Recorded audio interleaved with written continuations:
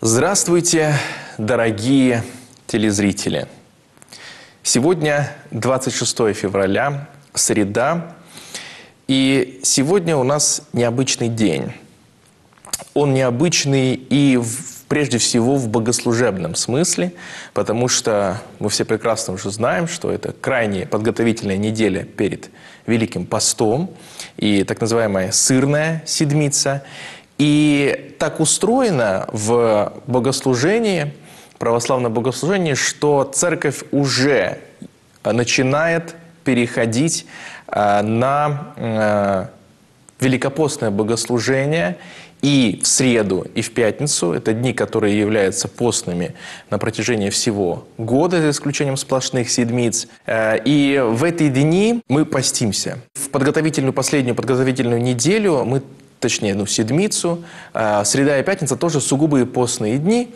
Э, и они постные в контексте, ну, мы уже отказались от мяса с вами, и э, прежде всего это их а, постность, она выражена в богослужении, потому что церковь уже в эти дни, в среду и в пятницу, начинает совершать а, богослужение великопостным чином. Уже в среду и в пятницу начинает читаться молитва Ефрема Сирина, в которой говорится слова всем нам знакомые «Господи, владыка живота моего, дух праздности, уныния, любоначалия, празднословия не дашь мне» и так далее. Именно в эти дни мы уже переходим на богослужение. Хотя в четверг еще служится литургия и еще э, не Великий пост – но в пятницу опять мы подходим к а, именно такому режиму богослужебному. И поэтому в этот день, как и во все седмичные дни Великого Поста, не положена полная литургия. Соответственно, она и не совершается. И за богослужением, соответственно, не читается Евангелие и не читается Святой Апостол. Богослужебная книга. Но в этот день читается отрывок из ветхозаветных пророков. И сегодня церковь предлагает нам обратить свое внимание на пророка Иоиля. Это вторая глава пророка, стихи с 12 по 26. И вот как звучит данный отрывок в русском синодальном переводе. «Но и ныне еще говорит Господь, обратитесь ко мне всем сердцем своим в посте, плача и рыдании, Раздирайте сердца ваши, а не одежды ваши, и обратитесь к Господу Богу вашему, ибо Он благ и милосерд, долготерпелив и многомилостив, и сожалеет о бедствии.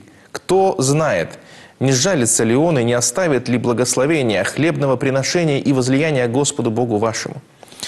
Вострубите трубою на Сионе, Назначьте пост и объявите торжественное собрание. Соберите народ, созовите собрание.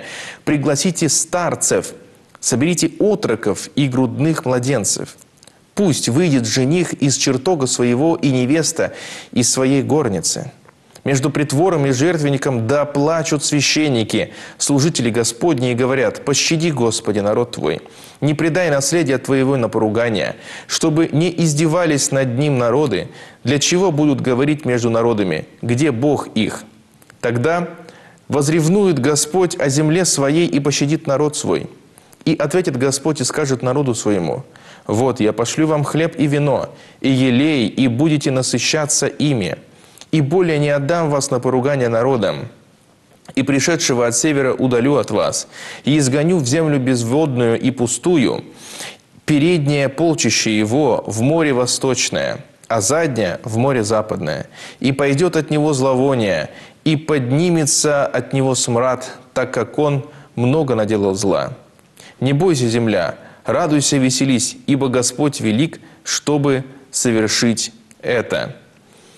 Не бойтесь животные пастбища, пустыни, произрастут траву, дерево принесет плод свой, смоковница и виноградная лоза скажут, окажут свою силу. И вы, чадо Сиона, радуйтесь, веселитесь о Господе Боге вашем, ибо Он даст вам дождь в миру и будет не спосылать вам дождь, дождь ранний и поздний, как прежде и наполнится гумна хлебом, и переполнится подточилие виноградным соком и илеем. и воздам вам за те годы, которые пожирали саранча, черви, жуки и гусеница, великое войско мое, которое послал я на вас. И до сытости будете есть и насыщаться и славить имя Господа Бога вашего, который дивное соделал с вами, и не посрамится народ мой вовеки». Итак, дорогие братья и сестры, как мы уже сказали, сегодня читается отрывок из пророка Иоиля. Вообще, это э, пророк, который входит э, в корпус, пророческий корпус Ветхого Завета, и он относится к малым пророкам. Но не малым не в том смысле, что его значение мало, а в том смысле, что э, у него значительно меньше глав и текстов, нежели у пророков великих, таких как Исаия, Иезекииль, Иеремия. И не случайный выбор сегодняшнего отрывка. Он о посте. Если говорить о времени служения пророка Иоиля, когда он совершал свое служение, когда он вышел на проповедь, то здесь ученые спорят. Кто-то говорит, что это была, а, что это была эпоха IX века, что это было а, время правления царя а, Раваама II. Есть специалисты, которые говорят, что это эпоха уже послепленная, после царская эпоха, потому что нет упоминания служения на высотах, нет упоминания о том, что упоминания каких-либо царей – и, и основные действующие лица – это священники, и основное святое место – это Иерусалим. Но с другой стороны, э, традиция, поставляющая Иоиля, древняя традиция в а, период э, пророков Амоса и Осии говорит о том, что это древний пророк, древнее, чем э, древнее плена, допленный период. И, конечно, поставить окончательную точку в этом споре невозможно. Но это не умаляет для нас смысла данного текста, который как раз-таки и повествует нам о том, о том важном значении поста, который э, берет свое начало еще из Ветхого Завета. Что это не просто какая-то дисциплинарная, э, дисциплинарная э, скажем так, аскетическая практика, которая пришла к нам, по мнению некоторых, из стоической философии, хотя действительно стойки философы античные, они отчасти повлияли на развитие аскетического учения церковного, но сама практика поста, она очень древняя. И здесь мы видим суть, в чем заключается суть поста э, по пророку Иоилю. Он говорит, ныне еще говорит Господь, обратитесь ко мне всем сердцем своим в посте, плача и рыдания. Господь требует от человека вот этого обращения. А обращение – это изменение, это перемена, то, что в Новом Завете называется покаяние, изменение жизни.